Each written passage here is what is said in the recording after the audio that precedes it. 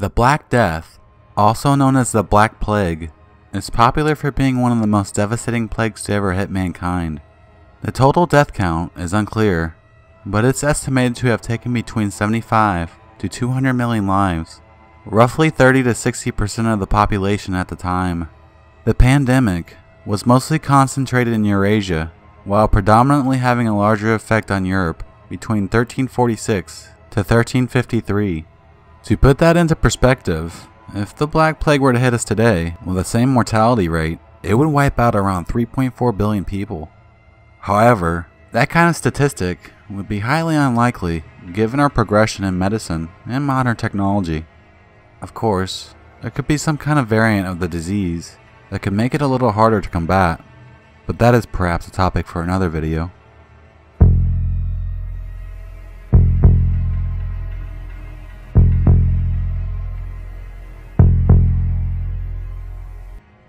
There are several theories out there discussing what exactly the Black Death was, and where it originated. Analysis of DNA from people in southern and northern Europe indicate that the pathogen responsible was the Yersinia pestis bacterium, resulting in several forms of the plague, including the bubonic plague. The mechanism by which Yersinia pestis bacterium was transmitted was established in 1898 and was found to involve the bites of fleas, whose midguts had become obstructed by replicating pestis bacterium several days after feeding on an infected host, most commonly a form of rodent.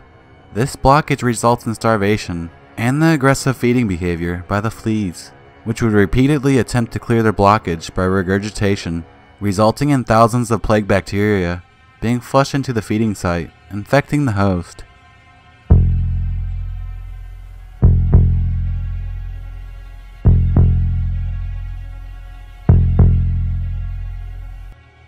Once this bacterium has been contracted, it becomes extremely hard for the host body's immune system to detect. One of the molecules in its outer membrane, called lipopolysaccharide, is a dead giveaway for the immune system. However, the bacterium is able to modify the structure of this molecule so that it no longer alerts the immune system. The plague then directly starts attacking your immune system and their outpost, the lymph nodes. Essentially, this is where the bacterium lives and conducts all its havoc. It eventually starts ripping apart the body's hemoglobin in its pursuit of iron and brings it back to its cozy little habitat inside the lymph nodes. The body finally figures out that there is something funky going on inside of the immune system, which in turn triggers the body's self-destruct mode, for lack of a better term. The lymph node swells, creating these gross, juicy little buggers known as buboes the essential trademark of the bubonic plague. As the disease progresses, the bacteria decides it's had enough terrorizing just your immune system and spreads to your lungs and other areas of your body via the ultimate transit your body has to offer your blood. The presence of so much bacteria in the bloodstream will eventually result in a condition called septic shock. Your blood vessels begin to leak inside your body, decreasing the blood volume. This in turn leads to your blood pressure decreasing, resulting in impaired blood flow to cells, tissues, and organs. What happens afterwards is the inevitable multiple organ failure, and eventually, death. Most victims died two to seven days after initial infection. This is in no way a painless death.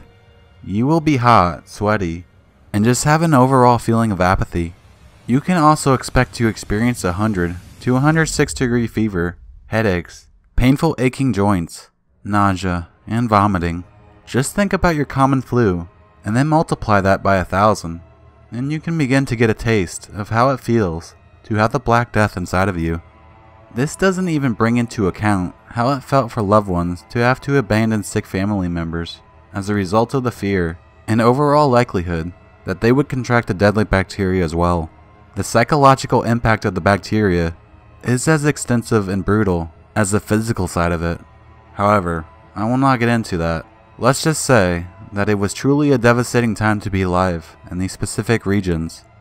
We should just be thankful that we don't have to experience it, only learn from it.